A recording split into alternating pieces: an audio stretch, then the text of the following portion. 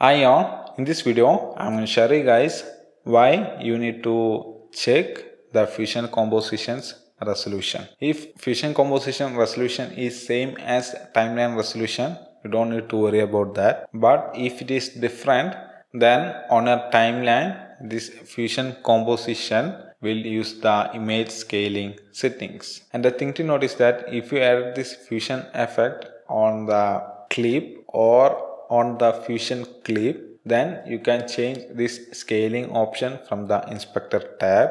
But if you are adding this effect on a fusion composition layer, then you won't be able to change this scaling option from inspector tab and this fusion compositions scaling option will be done using the project scaling option. So if you are not keeping this fusion composition resolution on your mind while creating this effect or while editing your project, as you move on sometimes your entire project will get complicated. So that's it. That's all about this video guys. I hope you guys find this video useful. If you do so the like button and don't forget to subscribe